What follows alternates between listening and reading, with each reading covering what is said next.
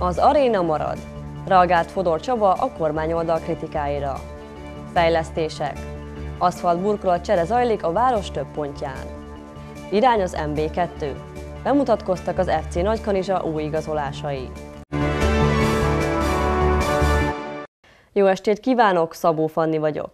Ez a Kanizsa TV híradója július 21-én pénteken. Jöjjenek a részletek.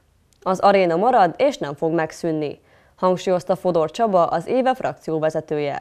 Szerdán Cseresnés Péter, a térség országgyűlési képviselője fogalmazott úgy a Rádió 1-nek és az Alakockának, hogy Fodor Csaba és társai megpróbálnak mindent aláásni, tönkretenni, ami a jelenlegi kormányzathoz köthető fejlesztés. Elkijelentés kapcsán Fodor hangsúlyozta, a cég felszámolásának semmi köze ahhoz, hogy megszűnne a létesítmény. A májusi közgyűlés zárt ülésén döntött arról az éve frakció, hogy visszahívja Fitos Istvánt, akit Balog László a pandémia alatt egy személyi döntéssel nevezett ki a Kanizs Arena Kft. ügyvezetőjének. A Kft. felszámolása egyértelműen a helyi kormány oldal főpolitikai csapás iránya lett. Az elmúlt tíz napban négy posztot is közöltek, de a Magyar Nemzet Kanizsára szakosodott szerzője Borsodi Attila is írt a témában. A héten Cseresnyés Péter is megnyilvánult és kijelentette, ez az éve politikai bosszú hadjáratának része, és csak az lenne a megfelelő lépés, ha visszavonnák a létesítményt üzemeltető cég végelszámolását. A témát már lehozó sajtóorgánumok közül egyik sem kereste az éve frakciót. Ahogy azt a Kanizsa Médiaháznak Fodor Csaba hangsúlyozta, a pandémia alatt sem Balog László, sem Cseresnyés Péter nem tárgyalt velük az arénával kapcsolatban.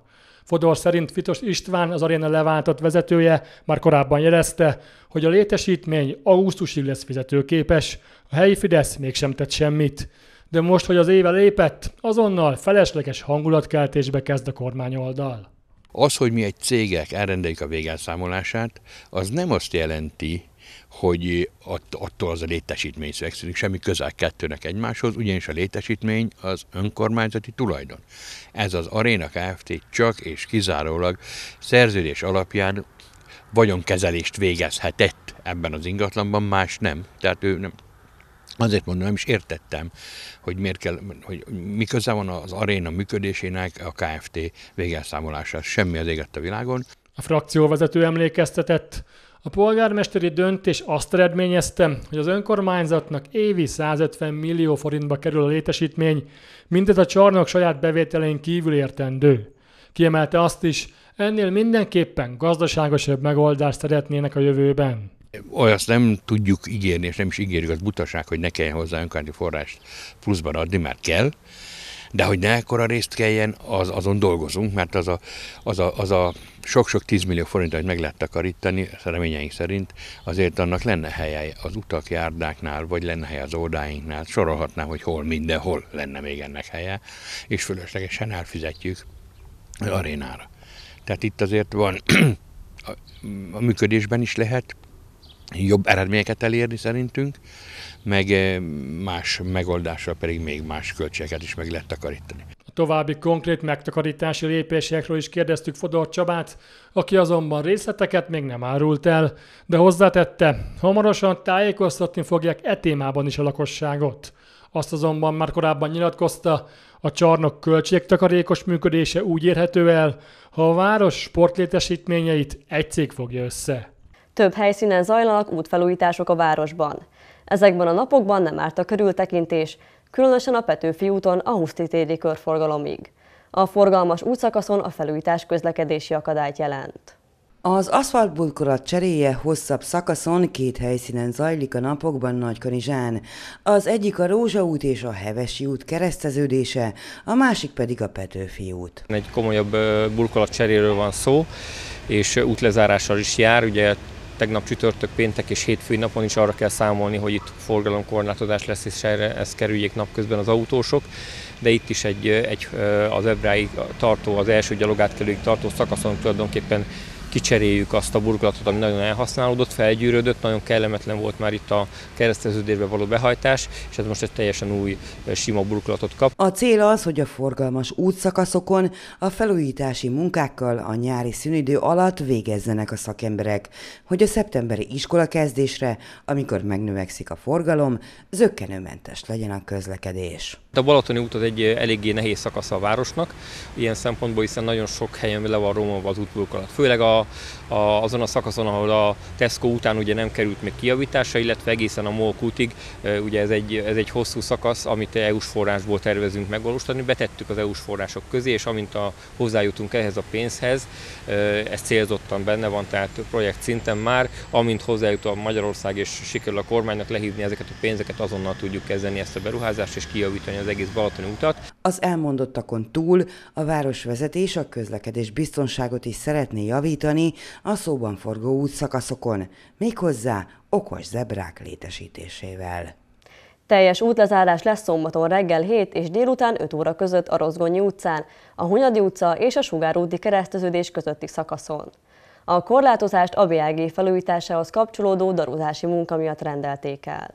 A BLG energetikai korszerűsítése egy 1,3 milliárd forintos pályázat részeként valósul meg, amely több kanizsai oktatási és kulturális intézmény felújítását foglalja magába.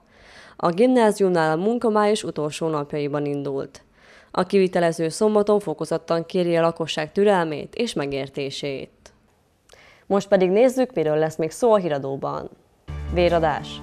Nyáron is nagy szükség lenne a donorokra. Tájfagyi kanizsán.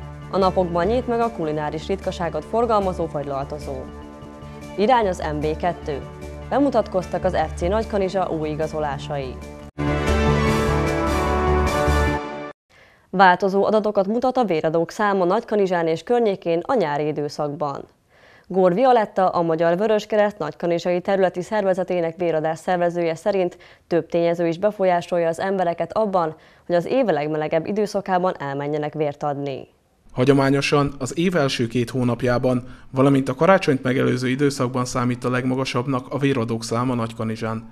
Gór Violetta úgy látja, nyáron tendencia, hogy hullámzó a segítségnyújtók aránya, ennek oka az időjárás mellett az emberek pihenőidejének megnövekedése. A július vége és az augusztus eleje általában nagyobb szabadságolások időszaka, úgyhogy ilyenkor elmondható, hogy a, a véradók kedv is csökken, illetve a véradók létszáma is csökken. Ugye a, a nagy meleg is nagyon sok mindent befolyásol, tehát igazából a kicsit idősebb generációt jobban érinti, tehát az 50 év felettiek például kisebb létszámmal vesznek részt ilyenkor a véradásainkon, mint mondjuk a tavaszi vagy a téli időszakokban. A Magyar Vöröskereszt nagykanizsai területi szervezete heti rendszerességgel szervezett véradásokat az elmúlt hetekben. A megszokott kanizsai helyszínek mellett évente egy-két alkalommal környékbeli településekre is ellátogatnak – Murakeresztúron például 29-en nyújtották a karjukat, de más falvakban is tucatjával mentek vért adni. A júliusi hónapban voltak vidéki helyszíneink, például Gelse és Nagyrécse. Ott elmondható, hogy mind a kettő települése jóval a tervszám fölött teljesítettünk, illetve a július elején itt a Sugárút 28 szám alatti véradóban és a, a délelőtti véradásokon nagyon szép számmal, tehát 30-35 fő jelent meg egy-egy véradás alkalmával. Nagykanizsán a jövő héten nem lesz véradás, július 31-e és augusztus 4-e között viszont véradó hetet rendeznek a Vöröskereszt munkatársai a Sugárúti Központban. Enyhült a kánikula, de egy-két zivatar kisebb lehűlés után ismét forróság jöhet. A hőség ellen segíthetik a városban közlekedőket a vízmű tűzcsapokra szerelt ivók útjai. A kezdeményezés szinte napra pontosan két évvel ezelőttre datálható. 2021 nyarán a kánikula, valamint a város járvány, illetve egészségvédelmi koncepciójának kialakításakor született meg az ötlet, amely szerint a közterületeken elérhető ivókutak mellett a vízmű segítségével alternatív lehetőségeket is kínálnak a lakosság számára. A jelen időszakra vonatkozóan a cég közleményt juttatott el szerkesztőségünkhöz, amelyben a következők állnak – a nyári hőségre való tekintettel a Délzalai Víz és Csatorna Műzé ingyenes vízvételi lehetőséget biztosít a járókelők részére Nagykanizsán, a Kalmár utcában, Buszpályaudvar és Vásárcsarnok környéke, valamint a Hevesi utcában Hevesi ABC mellett található tűzcsapokról. A tűzcsapokra szerelt vízvételezési csapok segítségével van lehetőség az ingyenes vízvételre. Exotikus tájlátványfagyizó nyílt a napokban Nagykanizsán. A távol-keleti édesség igazi különlegességnek számít hazánkban, Magyarországon csupán három városban kapható. Nem csak egyedi kinézete és íze, de a mindenmentes mi volt miatt is sokan választják. Az üzletet egy kaposvári házaspár üzemelteti, akik fiúk révén sokat jártak Ázsiában, köztük Tájföldön is. Itt tanulták meg az édesség elkészítését, ami bár nálunk ritkaságnak számít, a távol-keleten szinte minden utcasarkon lehet kapni. Elkészítése nem egyszerű feladat, hiszen a megfelelő hőmérséklet elengedhetetlen a tökéletes csavarok elkészítéséhez. Ez egy mínusz 25 fokos lapon történő szétzöcskölése a gyümölcsöknek és az egyéb belevalóknak. Tulajdonképpen mindenféle ízesítéssel le tudjuk ezt gyártani. Mínusz 25 fokos lapon lehűtjük, fölrollozzuk, fölrolnizzuk, és tekercs helyett, gombóc helyett tekercset adunk a sétáló tálkában. Ütögetéssel össze lesz dolgozva az alap a csokoládéval, illetve a banánnal. Ezt ügyesen meg kell forgatni, többször összekeverni, ezért látványfagyi, mert minden a kedves vevő vendég előtt készül. Az adag körülbelül három hagyományos fajlalt gombócnak felel meg. Nem csak a glutén, laktóz és szénhidrátmentes alap, de a látvány miatt is sokan keresik fel az üzletet, hiszen a vendég a desszert készítésének teljes folyamatát megtekintheti. Az eredeti és az itthoni fagyi között nagy különbség a díszítés mértéke. Györki Béla elmondta, nagy hangsúlyt fektetnek a desszert prezentálására, hiszen a tapasztalatok alapján a hazai vásárlóknak rendkívül fontos a külső. Tájföldön az volt a benyomásunk, hogy összecsapják, ugye a turisták miatt egy kicsit felgyorsították az ütemet. Egyébként ez négy és fél perc alatt készül el normál esetben, feldíszítve. Mi, mi megtejszínhabozzuk, a tejszínhab is szintén lehet mentes, és különböző cukorkákkal, díszítőelemekkel, gyümölcsökkel megturbozzuk egy picit, ez sokkal szebben néz ki. Tájföldön egy picikét nekünk nagyon-nagyon leegyszerűsített verziója volt ennek, itthon sokkal inkább ezt a feldíszítettet keresik. Az ügyvezető elmondta, a megnyitás óta eltelt napok alapján igenis van létjogosultság a kanizsán ennek a különlegességnek, hiszen egyre többen érdeklődnek az édesség iránt. Bemutatkoztak az FC Nagykanizsa új játékosai. A klubnál ismét jelentős mozgás volt, hiszen nyolcan távoztak, és eddig hatan érkeztek. A csütörtök délutáni szurkolói ankéton az együttes vezetői azt is hangsúlyozták. Amennyiben sikerül kiharcolni a feljutást, jó eséllyel meg fogják tudni oldani, hogy az infrastruktúra megfeleljen a másodosztályú elvárásoknak.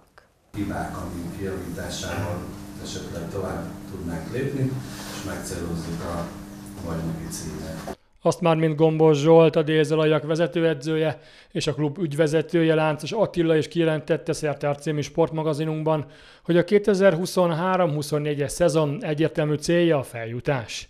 A keretet is így alakították ki, érkezett Hála Kara a kapuba, a fiatal Kovács Bence a védelembe, míg a Rákócit elhagyó Kálmán Szilárd középpályás, Fehér Barnabás, Színai Bendegúz és Kalafat Álmos pedig támadók. Gombos Zsolt hangsúlyozta, nem csak a képességeikkel, de a személyiségükkel is erősítést jelentenek az érkezők. Még, még egy-két játékosnak az érkezése várható, illetve azért jó lenne, hogy legalább egy 18-18 mezőnyjátékos meglegyen, de, de akiket sikerült idehozni, igazolni, amit szoktam mondani, illetve tudtok, hogy, hogy nem csak a játéktudás, hanem a személyiség jegyek alapján is döntöttünk magasabb osztályból nem igazoltunk, megyeiből is igazoltunk, MB3-ból is, úgyhogy, úgyhogy teljesen rendben vagyunk. Az új igazolások közül a legrutinosabb a szovátai születésű Kálmán Szilárd. A Kaposvártól érkező játékos az elmúlt másfél szezonban többször ellenfélként szerepelt a Kanizsával szemben, de mint mondta, az azokon a mérkőzéseken tapasztaltak és közrejátszottak abban, hogy a piros kékekhez tegye át a székhelyét.